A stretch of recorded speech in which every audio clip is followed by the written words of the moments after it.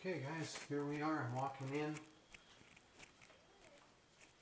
And there is the office. She's bringing a white slipcover chair from her from another location here this morning.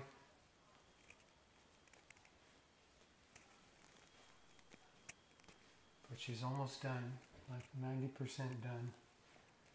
So here we have this nice setup.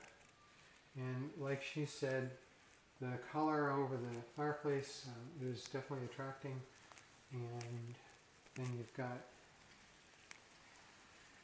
some more green greenery.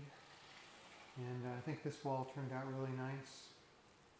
It gives a lot of space and a warm feel.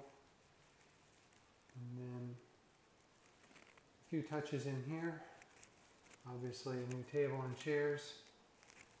A few knickknacks that kind of come together. Give it a little bit of a lived in look.